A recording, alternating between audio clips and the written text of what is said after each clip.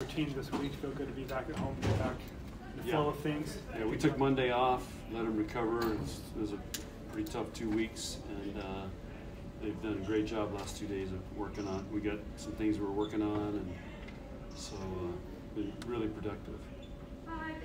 You mentioned, I think, post the game that they didn't play with urgency to start matches too. Is that something? How do you how do you coach that or get them to do That's all- that? That's that's out of my league. I'm not out there. They got to they got to figure that out. So they did they they know what they have to do. It's just a matter of doing it. Overall, how do you feel about your serving other than the airs? How, I mean, how often are you stressing teams with your serve this season? Depends on the night, but um, that's going to continue to get better. I, I'm already seeing things this week that, that lead me to be really confident that uh, our serving is continuing to get better What, what are you seeing? in practice. So I don't, I don't want to jinx this, but we went we went a lot of drills without missing a serve. Put it that way. Back to the slow starts that you talked about and it being on the players. Is there any kind of common theme that you're sensing or any kind of message you've preached to them? Part, of it is the teams we're playing are coming out really playing really well and hard. So when you're on the road, sometimes it takes a while to adjust. You know, we had three out of the four matches had record crowd, all-time record crowds. So it's just little different environment and getting used to it. They're playing great. So, uh, but you know, we've we, we, found a way to come back and beat Michigan and, and Michigan State in game one. So even though a lot of that's our, our opponents are doing a really good job. On the flip side, what does that say about your resolve, being able to win those first sets, and if not the first, then quickly get back in it? It's huge. We're building that uh, that muscle uh, that we can. Uh, doesn't matter if we're down, we can still come back. And it's you can't really replicate that in practice. It's things that have to happen in games, and it's great to see some of our players when we need it. They can really step up and make plays, and that's what that's what great teams do. Penn State's a very different team than what you see in the past with all the transfers they have. I mean, how are you impressed with how quickly they've kind of meshed as a unit as the season's gone on? Well, they they I mean they've got all conference players all over the place. So uh, you know they're they're they're going to be a really great test for us. And uh, they've got some great players. I mean, you just look at they got the best player from this school, best player from that school. So um, it'll be a really great test for us.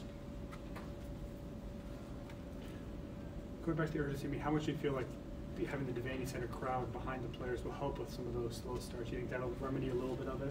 After being on the road for four matches, and it may not seem like a lot, you know, just thinking football was on the road four straight matches, you know, four straight games. It's, it's, uh, it'll be. I think I think our players are going to be really fired up to play at home, and and um, I think our fans will be fired up. I think they missed us. I mean, it's three weeks without a volleyball match. You know, if you think about it, and um, so I, I think it's going to be a really fun weekend.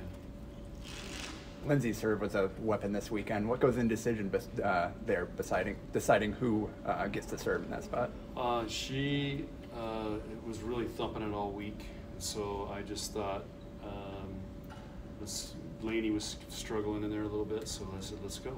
And both her, Allie, and Hayden are all prepared to come in and serve. And the difference is Laney's such a great defensive player. You know, we give that up a little bit, but uh, Lindsay made some really nice digs and had some huge runs for us. So uh, uh, we got confidence in all those guys to serve. Do you think of the way that she got going this weekend after maybe a slow start in that first one? Lindsay, I mean. For what serving? Well, no, just in general. Um, player of the week, um, put up really good numbers efficiency wise. Yeah, she, she, she had 400 last week too. So, so we need her to do that every week. So we've been talking about somebody's got to kill balls in that spot. It makes us it makes us a really tough team to defend, and they're doing that. But uh, Lindsay's a warrior. She's battling. She competes really hard, and um, so she, she's doing a really good job. Final questions? A little off topic, but next Saturday you guys will be playing Huskers football. We'll also be playing at the same time. Lincoln should be a jammed house. Given what happened to Lindsay a few weeks ago, any thoughts or words you give to fans driving in the area? Well, uh, I've, I've noticed, uh, I don't know what's changed, but I've, I've just noticed O, o Street when I've been on, it's been a little more mellower. So I'm hoping our little thing we did with the police and the awareness with Lindsay's situation, that maybe some people have slowed down.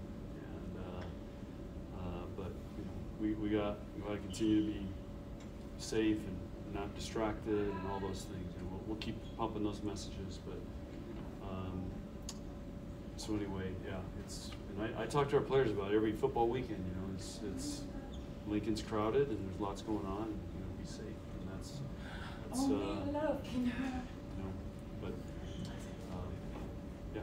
So we're, we're doing we're trying our part.